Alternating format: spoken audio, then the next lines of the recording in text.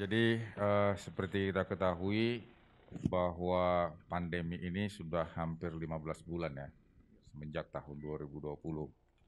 Jadi artinya seluruh stakeholder pemangku jabatan di Indonesia ini jauh lebih paham dan lebih mahir di dalam mengenali bagaimana karakteristik pandemi COVID. Karena bukan sesuatu hal yang baru. Artinya pemandangan itu akan berbeda antara Maret 2020 dengan Maret 2021. Demikian juga dalam pengelolaan tentu pasti berbeda. Dan kalau kita tarik ke belakang bahwa pemerintah sudah mengeluarkan berbagai regulasi dan instrumen di dalam rangka penanggulangan COVID-19. Kita lihat dulu bahwa ada PSBB, ya, dan kemudian kita lanjutkan dengan PPKM 1, PPKM 2, tetapi semua yang dilaksanakan itu tidak maksimal. Tidak maksimal ini artinya regulasi dan implementasi dan ketaatan untuk melaksanakan apa yang diminta oleh regulasi itu tidak bisa menghasilkan outcome yang produktif, di mana yang diminta itu adalah supaya 3M, 3T itu terlaksana dengan baik. Artinya protokol kesehatan itu harus memang menjadi bagian dari perilaku masyarakat. Jadi PSBB, PPKM 1, PPKM 2 sebenarnya intinya adalah bagaimana perilaku kesehatan tersebut ada di bagian masyarakat di masing-masing individu. Tapi ini masih banyak yang abai. Kita lihat kemarin sewaktu libur panjang dan termasuk juga libur Idul Fitri di mana surat edaran Satgas nomor 13 meniadakan mudik, tapi lebih satu setengah juta orang yang mudik. Kemudian juga banyak peraturan yang mengatakan bahwa jangan ada kerumunan, termasuk juga dari PPKM Mikro, bahwa kerumunan tidak boleh di daerah wisata, di pasar, ternyata terjadi juga. Dan kemudian juga berbagai eh, kejadian-kejadian uh, khususnya juga pekerja migran Indonesia. Sebagian besar memang pulang melalui jalur resmi, tetapi ada kalanya juga mereka masuk dari jalur-jalur yang memang tidak diketahui, sehingga tiba-tiba juga sudah masuk ke Indonesia. Jadi semua ini yang membuat akhirnya terjadi lonjakan kasus. Karena kita ketahui bahwa virus ini menular dengan droplet, bahkan kadang-kadang juga seperti airborne, tetapi yang terjadi adalah kalau dua orang di antaranya mereka sudah terinfeksi dan kemudian mereka tidak memakai pelindung, maka terjadilah proses penularan. Jadi kalau Maret 2020 penularan itu adalah imported cases, sekarang itu dia sudah menjadi community, sudah di keluarga. Dan yang memperberat lagi adalah bahwa sudah ada varian baru masuk. Kendati Januari kemarin kita sudah masuk vaksinasi, ternyata varian baru ini juga membuat problematika di dalam penanggulangan. Kenapa? Karena masa inkubasinya lebih pendek dan kemudian juga klinisnya juga semakin memburuk. Jadi itulah yang terjadi sekarang peningkatan kasus dan kasus itu kita lihat eh, secara berbondong-bondong hadir di berbagai rumah sakit. Baik rumah sakit vertikal, rumah sakit umum daerah maupun rumah sakit swasta lainnya yang ditunjuk pemerintah. Tapi kehadiran mereka di rumah sakit ini sebenarnya ada ada mismanagementnya. Mismanagementnya itu adalah di dalam penanggulangan pandemi sebenarnya bukan urusan rumah sakit yang harus dibereskan. Yang harus dibereskan itu adalah sektor di hulu.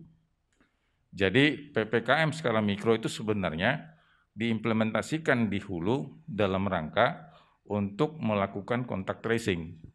Nah, kontak tracing ini tujuannya adalah untuk memisahkan mana orang yang terinfeksi atau sudah terkonfirmasi yang bergejala dan mana yang kontak erat. Oleh karena itu kontak tracing di daerah hulu, di desa, di kelurahan tidak boleh turun kapasitasnya. Ini harus dikerjakan semaksimal mungkin. Jadi sepanjang kontak tracing turun, maka kita tidak bisa memisahkan secara maksimal mereka yang terinfeksi, mereka yang bergejala, dan mereka yang terkonfirmasi. Yang kedua, bahwa di sektor hulu, di desa, di kelurahan, harus terjadi adanya uh, isolasi dan karantina. Siapa yang diisolasi? Mereka yang bergejala, mereka yang terkonfirmasi. Siapa yang dikarantina? Mereka yang kontak erat. Nah, bila mana mereka di, dilakukan isolasi kedua ataupun dikarantina, tidak boleh dibiarkan sendiri. Harus ada pendampingan. Kenapa? Karena belum semua warga mengenal gejala. Belum semua warga mengenal perjalanan penyakit. Sehingga perlu pendampingan. Oleh karena itu, di dalam PPKM skala mikro ada namanya posko desa, posko kelurahan.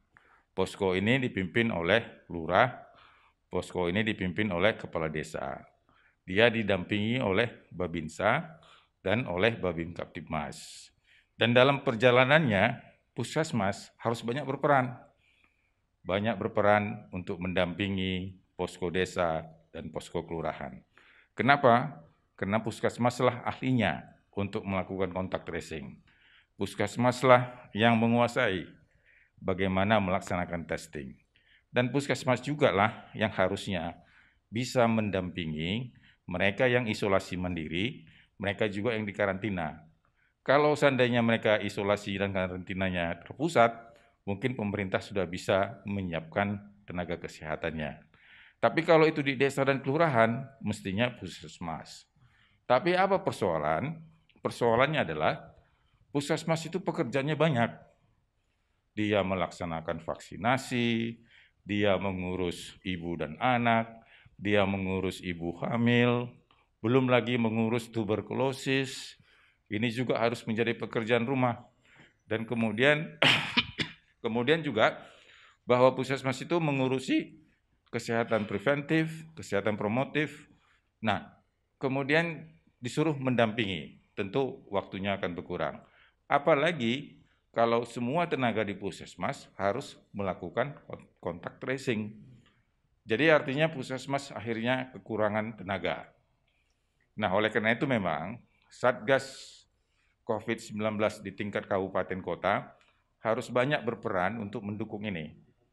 Karena sepanjang kontak tracing tidak bisa dilakukan dengan maksimal, kemudian isolasi mandiri tidak didampingi, karantina yang ada di RT RW tidak bisa didampingi, inilah akibatnya mereka membludak masuklah ke rumah sakit. Penyakit ini perjalanannya tidak langsung di fase 2, fase 3. Dia mulai terinfeksi, kemudian ada gejala ringan, kemudian setelah gejala ringan, dia masuk ke penyakit sedang, berat, dan seterusnya. Jadi perjalanan penyakit ini nggak tiba-tiba. Tapi apa yang terjadi? Semua ke rumah sakit sudah masuk dalam kondisi sesak dan kemudian demam. Jadi ini yang harus kita lihat di hulu. Jadi menyelesaikan masalah di hilir, menyelesaikan masalah di rumah sakit harus beres-beres di hulu.